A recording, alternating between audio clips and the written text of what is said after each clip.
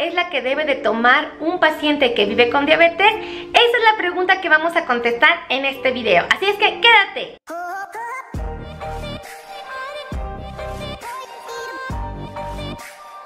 Muchísimos pacientes se preguntan cuánta agua es la que debemos de consumir cuando tenemos esta enfermedad.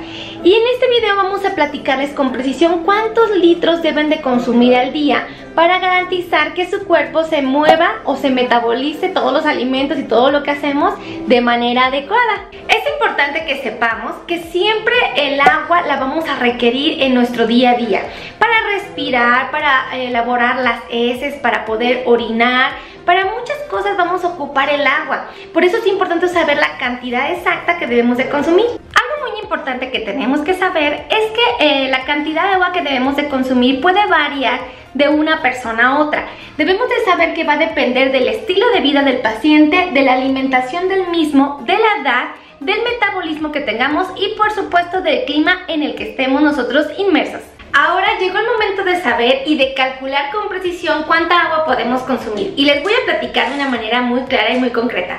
Vamos a suponer que un varón que pesa 70 kilos, ajá, quiere calcular la cantidad de agua que debe de tomar durante el día.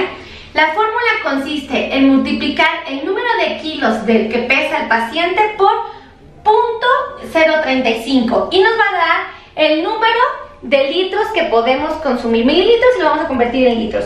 Entonces vamos a suponer que un, un, varón que pesa 70 kilos, vamos a hacer 70 por 0.035 igual a 2.45. Significa que un varón de 70 kilogramos debe de tomar 2 litros con prácticamente 2 litros y medio lo que debe de consumir de agua natural para evidentemente ayudar a su metabolismo.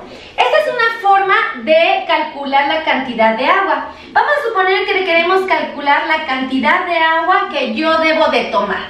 Suponiendo que yo pesara 52 kilos, vamos a calcularla juntos, ¿vale? A ver, permítanme porque esto es un lío. Sería 52 kilos que peso por 52 por 0.035 sería, yo necesito tomar un litro, casi dos litros, ¿no? Sería un litro con 850 mililitros. De esta manera yo voy a poder tener la precisión de la cantidad de agua que debo de ingerir aún teniendo diabetes. En este video ya pudimos calcular la cantidad de agua que debemos de consumir cuando tenemos diabetes y de esta manera garantizar nuestra salud. Déjenme decirles que dentro de los beneficios que aporta el consumir agua es que nos va a ayudar a lo que viene siendo lubricar nuestro cerebro y nuestras articulaciones.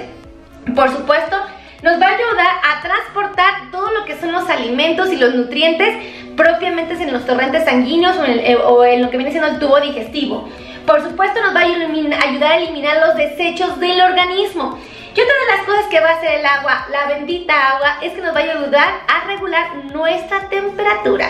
Y no por ello menos importante, acuérdense que el agua nos ayuda, colabora en lo que viene siendo el proceso digestivo. Si tomamos en cuenta todo esto que les acabo de platicar, estoy convencida de que todos mis pacientes que viven con diabetes van a empezar a tomar la cantidad de agua necesaria para preservar su salud.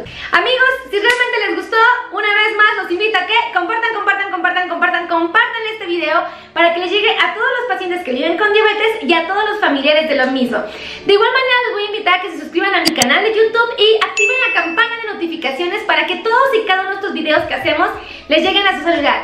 Que Dios me los bendiga, los quiero mucho y espero que les haya servido esta información. Besos a todos, bye.